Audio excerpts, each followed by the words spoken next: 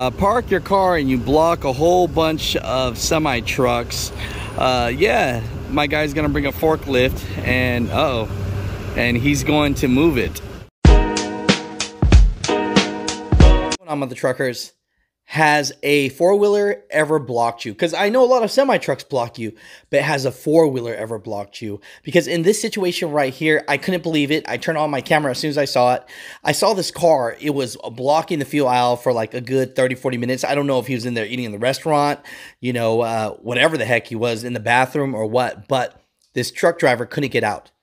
And so this guy grabs the forklift and takes it into his own hands and moves the car.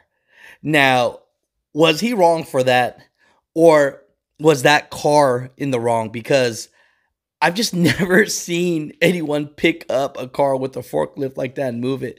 I'm sure when that guy came out of the bathroom or restaurant or shower or whatever the hell he was doing, he was probably like, Where the hell is my car?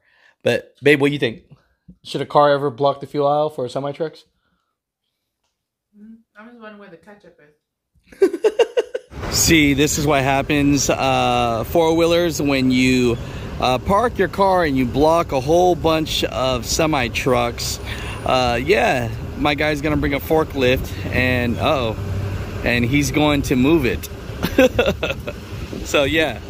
If you're wondering where your car is, sir, your car is gonna be on the side of the road where it should be, uh, where the cars actually should be parking. Where your car is, your car will be right there, sir, and not blocking trucks, okay?